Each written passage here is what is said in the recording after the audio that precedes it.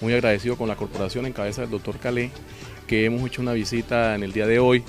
a este caño hospital que es de suma importancia para el municipio y que afecta a muchas comunidades que lamentablemente construyeron sus viviendas no guardando las márgenes requeridas de norma, pero ya tienen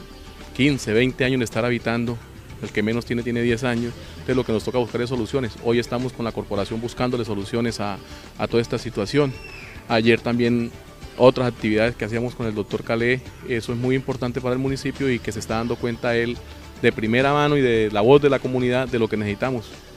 Y yo siempre lo digo, cuando las entidades oficiales articulamos, Corpo Cesar, el municipio, articulan, podemos hacer cosas grandes y en eso es lo que estamos.